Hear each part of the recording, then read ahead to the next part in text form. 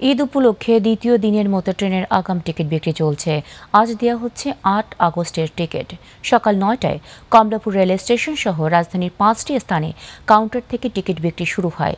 যমুনা সেতু হয়ে পশ্চিমাঞ্চলগামী সব আন্তনগর ট্রেনের টিকিট বিক্রি হচ্ছে কমলাপুর থেকে। এছাড়া বিমানবন্দর station, Tejgaon railway station, Banani station এবং পুরুলিয়ার পুরাতন বিল্ডিং থেকে ট্রেনের টিকিট বিক্রি হচ্ছে। জাতি সাধারণ যাতে ঝামেলামুক্ত এবং নিরাপদে এবং স্বাচ্ছন্দ্যে টিকিট ক্রয় করতে পারে ঢাকা থেকে এবং কয়েকটি, ঢাকা থেকে পাঁচটি পাঁচটি স্থান থেকে আমরা টিকিট বিক্রয় কার্যক্রম সম্পন্ন করেছি।